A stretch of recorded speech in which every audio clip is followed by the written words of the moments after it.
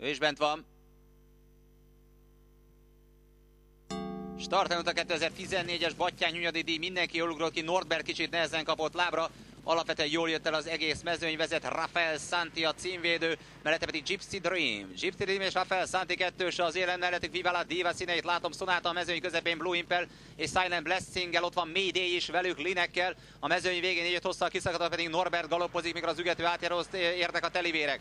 Az élen továbbra is Gypsy Dream. Gypsy Dream az első, nagyon jól jön mellette azonban Rafael Santi és Mayday. Jól tartja magát Viva la Diva, Silent Blessing és Blue Impel mögöttük galoppozik Sonata könnyen kézből, és időközben csatlakozást talált Norberg is, amikor a túlsényes végén vannak a telivérek, remekül együtt az egész mezőny. Az élen továbbra is Gypsy Dream, Gypsy Dream mellett ott látom Rafael Santit, Rafael Santi, Gypsy Dream, Mayday, ők hárman vannak az élen, aztán Viva la Diva, Silent Blessing, Blue Impa további Soren Sonátát, mint a kézből kicsit lovagolná már lovasa, mögötte Norberg próbál följebb zárkodni, egészen jól galoppozik Norberg, amikor jönnek a befutóra a telivérek. 500 al a vég előtt 2014-ben a Battyány Nyunyadi díjban vezet a címvédő, Rafael Santi. Rafael Santi hozza a lovakat elsőnek a célényesben 450-nel a vég előtt. Rafael Santi vezet, megtámadja Silent Blessing. Rafael Santi, Silent Blessing, Bluim. Nagyon jól jön Sonata, mögötte van csak Mayday.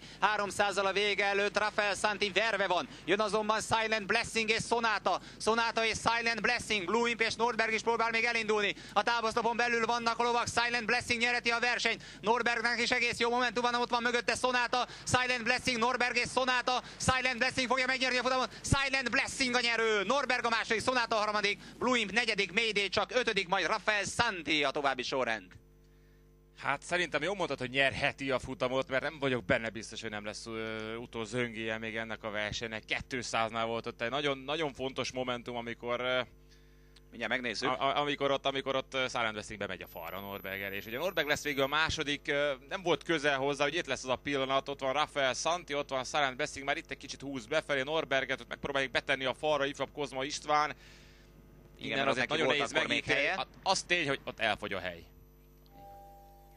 Figyelem, a nyolcadik futam nem hivatalos befutási sorrendje, hármas, hatos, négyes. Ugye újra Norberget fel kell rázni a ifjabb Kozmának. Szerencsére azért jól csinálja Kozma, mert mindent elkövet, hogy, hogy utolérje. Tehát, hogy második legyen, mert így azért ugye másik kicsit a helyzet, Szonátát megveri még így is.